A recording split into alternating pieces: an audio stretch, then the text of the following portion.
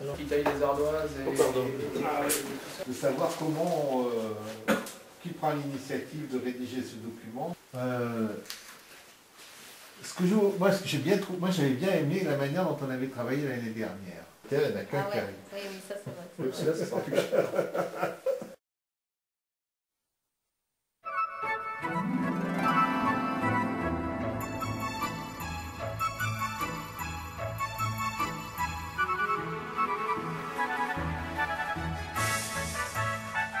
Parce que les gens, ça ne présente pas un grand Ouais, intérêt. ouais. Non, ouais, ça apporte rien. hein. L'important, c'est que les gens puissent aller après dans Ah, lotissement du chier parce que là, Parce qu'il faudra bien quand même, par rapport à d'autres communes, à restaurer extérieurement, parce que c'est pas très... euh,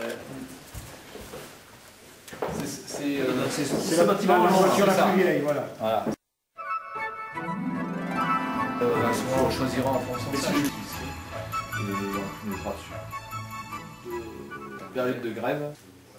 De la commission des finances début février pour synthétiser ça et on fait une commission. C'est l'indemnité du percepteur. C'est bien. Elle aurait euh, 30 euros de cautionnement pour, euh, des, pour un cautionnement de montant de 300 euros. Donc ça, c'est Bon, ça change pas trop. Pendant, parce que la voiture était partie, mais moi ma voiture ce jour-là, et j'ai maman avec un par Moi je pensais que ça Christian plus. Dubreuil. L'idée, c'est qu'on a fait un cheminement. Il faudrait peut-être qu'on. Il faudra qu'on voit, mais en- sur les prochains, euh, pour les élèves,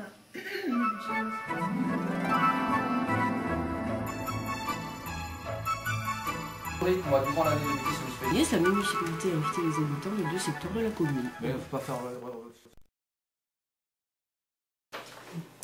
On fait un article sur un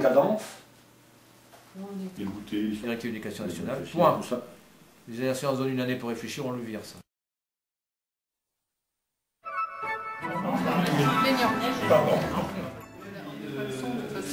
Préparation du conseil municipal, JP et Jean. Il faut qu'on fasse attention aussi à euh, un délit qui s'appelle la gestion de fête.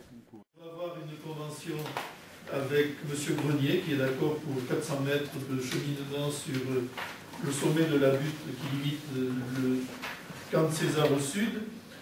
Alors, à Chevillou, un point important, c'est qu'au dernier conseil, donc euh, il a écrit, sa réponse a été positive pour cette soulée, mais ce- cet échange